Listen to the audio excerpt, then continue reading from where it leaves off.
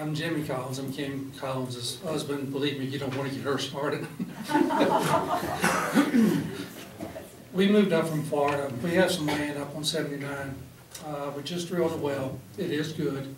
Uh, we're thinking about building, we kinda got our life on hold, because we don't know where this is going. Because we saw it in Florida, we have a house down there, we paid 150,000 for, and some things happened similar to this, it's now worth twenty-eight thousand. And we do not want that to happen here, and the board really needs to consider it, because if we build a house, say two hundred thousand dollars, the well goes out, it's worthless. You live in a thousand dollar house, or a million dollar house, don't matter if your water is worthless, your house is worthless. Then the people will move.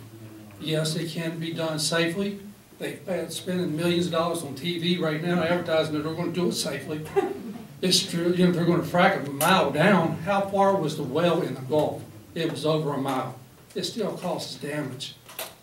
Are they gonna do it? Can they do it? They can, but they? No, it's gonna cost too much. They've already spent too much money to pass the laws. George Bush signed it, I saw it.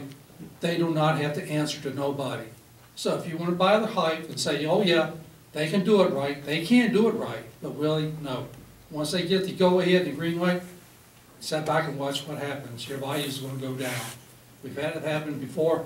Will it create jobs? Yes. Last week, I saw on the TV, two girls from Rochester, one from Horseheads, got arrested for prostituting, servicing the out-of-town workers. Ninety percent of the jobs are out of town, are not here unless you wanna drive a truck. But that's what it is. But yes, our life is on hold.